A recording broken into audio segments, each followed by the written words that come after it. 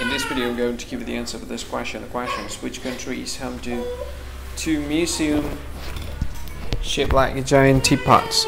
Now I'll give you the answer for this question and the correct answer for the question is China. Well, that's the answer for the question, China. Hi, thank you so much for watching this video. If you find this video is very useful, you can help this channel to grow by subscribing this channel. Please this subscribe button and don't forget to like this video.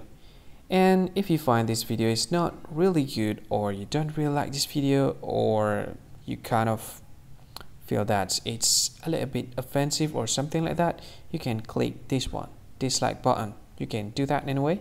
And if you want to share this video with your friend, you can share it by clicking this share button and you can share it to any any social media that you wish that is currently available at this time like Facebook, Twitter, LinkedIn, and many others.